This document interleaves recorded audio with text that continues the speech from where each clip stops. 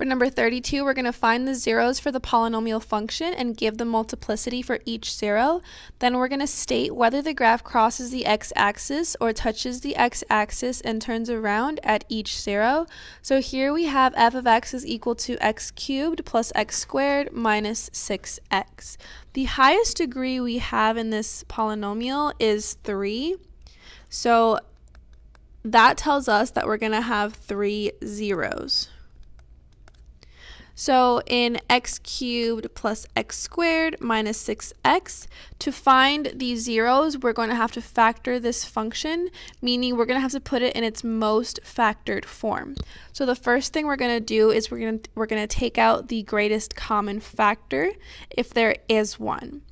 Um, for this function, it looks like our greatest common factor is x between these three terms. So we're going to take out x, and that's going to leave us with x squared plus x minus 6. Now we're going to factor what's inside of here. We have a trinomial, and if a trinomial is factorable, it will always factor into two binomials. And don't forget to bring that extra x down. With factoring trinomials, there are a couple different methods you can use. You can use the Berry method, you can use the guess and check method, and you can use the AC method, and the list goes on and on. Let's use the Berry method just because I think it's the most interesting. In the Berry method, as a quick review, we're going to take a look at the last number and we're not going to take a look at the sign that it is, just the number itself, and we're going to write down the factors of that number. So all the factors of 6 are 1 and 6 and 2 and 3, and that's about it. Now, because the 6 is negative, we're going to take a look at which factors subtract to make the value in front of this x here, which is 1, because the coefficient of anything, if there's nothing already there, is just 1. So 1 minus 6 does not make 1, so that's out. And 2 minus 3 makes negative 1, but it is the value of 1. So we're going to use 2 and 3. We're going to take the highest number and put it in our first parentheses and the other number in our second parentheses. Now because we have a plus sign right here, we're going to drop that down to our first parentheses. And then finally, we're going to ask ourselves, this sign times what will give us this sign? So a positive times what sign will give us a negative? And the answer is a negative because a positive times a negative gives us a negative. Therefore, we're going to place that negative right here. Now, because this x squared has a coefficient of 1, we are just going to split that x squared into x and x. And there we go. That is our factored form of the polynomial. So when we're finding these zeros, what that means is that we're setting this f of x into a zero. So f of x is also written out as y.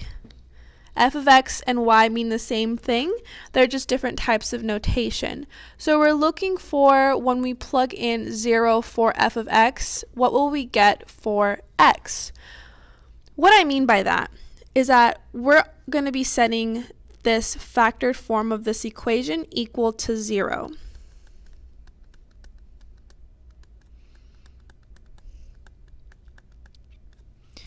And because we have a degree of 3, there should be 3 x's where the y is 0.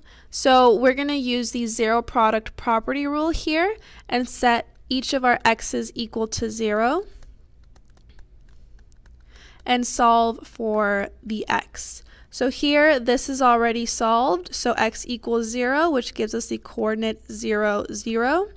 Here, when we solve for x, we get x equals negative 3. So that gives us the coordinate negative 3 comma 0. And here the x equals 2 when we solve for x, which gives us the coordinate 2 comma 0.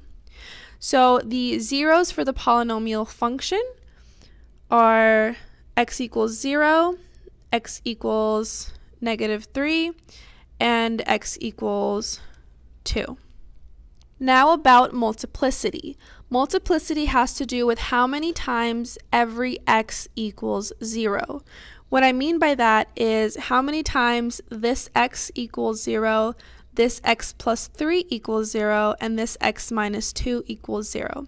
And it just so happens that in this polynomial function, it only happens once. So for example, if we had an x plus 3 and an x plus 3 equals 0, that would mean that we had x plus 3 squared equals 0, and then x would equal negative 3 with a multiplicity of 2. But in this case, x equals 0 only happens once, x plus 3 equals 0 only happens once, and x minus 2 equals 0 only happens once. So the multiplicity for each x is just 1. Now it's important to note that 1 is an odd number.